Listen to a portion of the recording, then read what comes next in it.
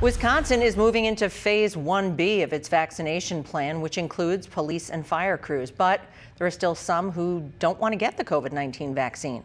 A science communication expert at UW Madison says a clear message of how vaccines save lives can help make getting them more of a social norm for the COVID vaccine to be effective, two things need to be need to happen. One, we've already done. We've developed a vaccine. The second thing, we need to communicate in ways that convinces all of us um, that this is something that we that we want to participate in.